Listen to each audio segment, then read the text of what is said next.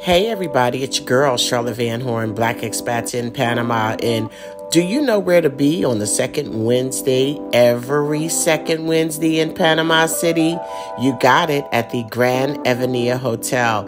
That is where the BEIP B2B network meets up, and you get to meet the most exciting, creative, forward thinking people in the region we talk about how we can create synergistic relationships between black expats in Panama, other foreigners, and Panamanians. So you don't want to miss it. We got more coming up. So if you missed the last one, don't worry.